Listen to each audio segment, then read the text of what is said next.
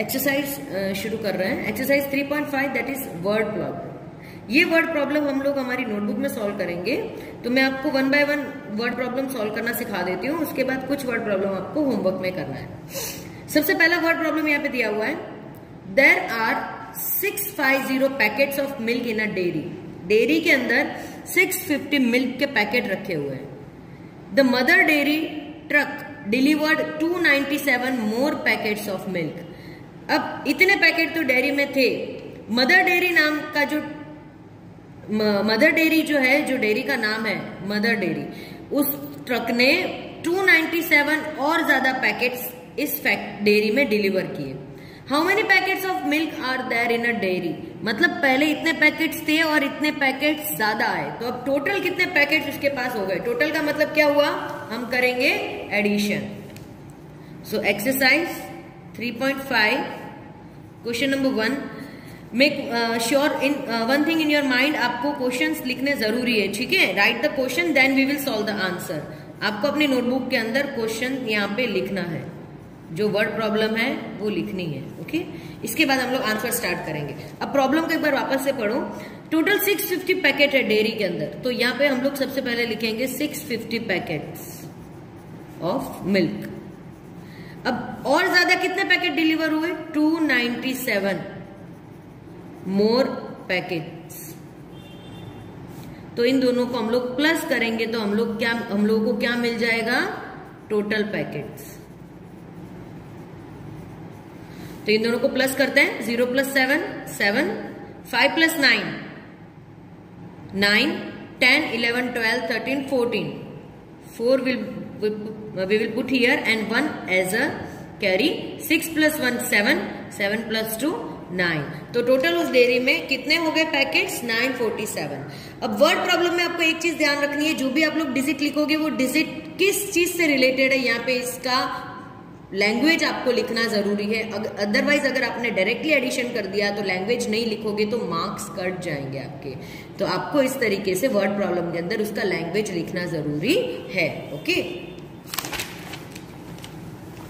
Second word problem है there are 365 people in a compartment of a train train के एक compartment में 365 people है. In other compartment there are 289 people दूसरे compartment दूसरे coach के अंदर 289 पीपल है.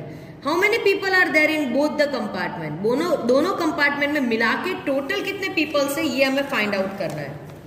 सेम तरीके से हम लोग सॉल्व करेंगे इस वर्ड प्रॉब्लम को भी.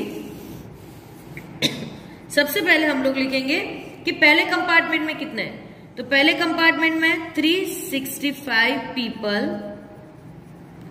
इन वन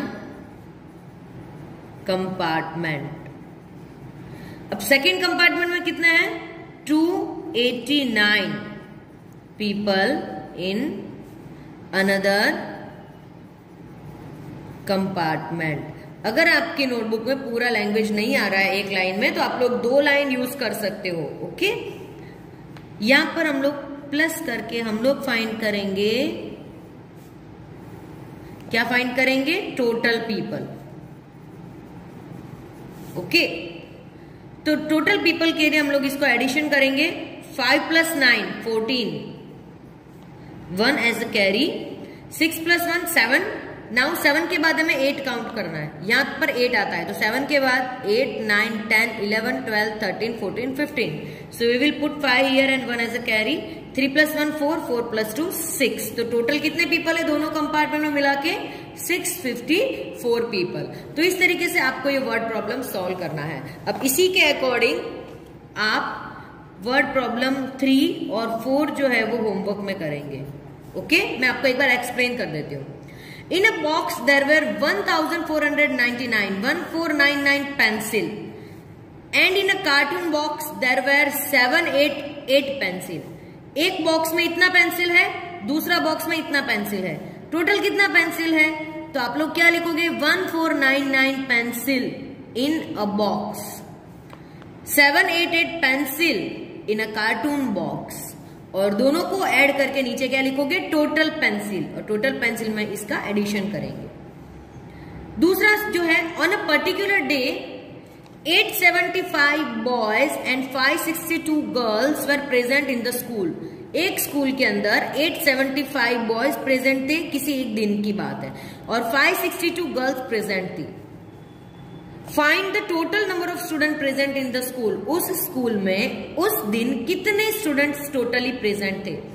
तो पहले हम लोग लिखेंगे 875 बॉयज़ फिर नीचे प्लस करके लिखेंगे 562 गर्ल्स और फिर नीचे लाइन खींच के लिखेंगे टोटल स्टूडेंट्स ओके तो टोटल स्टूडेंट्स लिख के हम दोनों का एडिशन करके फाइंड करेंगे। तो इस तरीके से आपको ये दोनों क्वेश्चन जो है वो होमवर्क में सॉल्व